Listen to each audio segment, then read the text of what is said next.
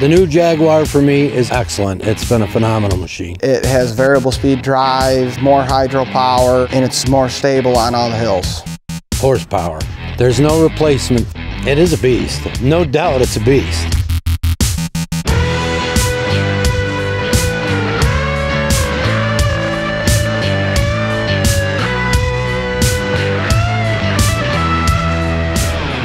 My name is Don Peters. I was born and raised here, Auburn, New York. I'm fourth generation on this dairy farm. We're just nicely getting started in harvest. We're looking at approximately 20 more days.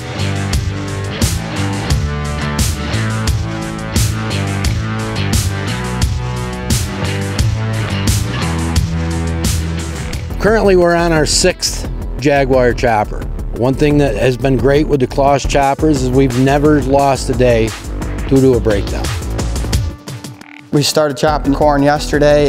It is a little different being on duals because you're 17 foot wide instead of 10 foot wide, I believe they were.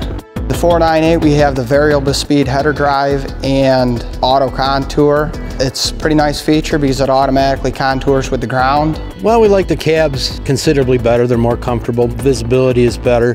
The variable speed drive, that's been a nice addition to the chopper. The dual wheels, in wet conditions definitely hold up better, hold the machine up.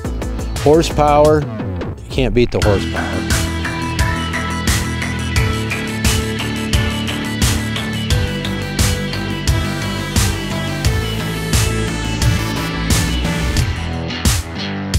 Accessibility and serviceability are a must, and the Claas Jaguar has it. Dealer support can't be beat. If I do have an issue, they're here within an hour. The Claas Jaguar processor does an excellent job processing corn and yet doesn't destroy the fiber. I think we've been using Claas for 18 years. We run Claas mowers, we run Claas rakes, we run Claas choppers. If there's not a problem, you don't try and fix it.